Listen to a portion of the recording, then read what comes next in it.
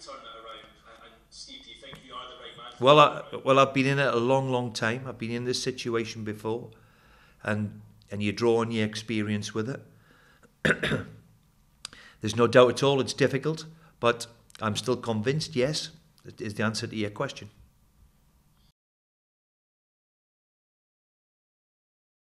I think when you're managing the Premier League, Keith, then you know the word pressure is often used.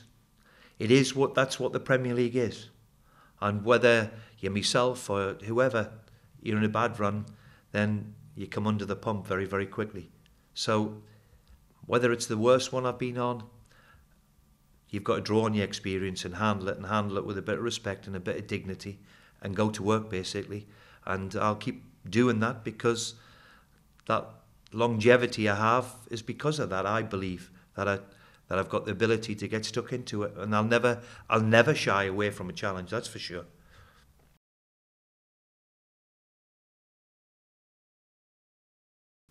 Look, I can understand the disappointment.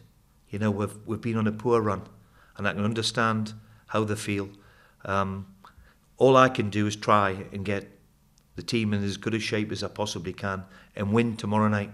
And um, you know, you're disappointed when you hear things like that, but all I can do is keep trying to be focused on the match ahead.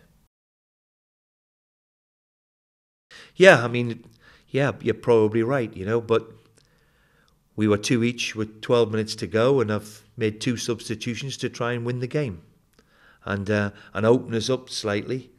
Um, so, you know, we were right in it we were right in it that night, and, and I expect another Leeds have been a breath of fresh air this year. So, expect another tough game.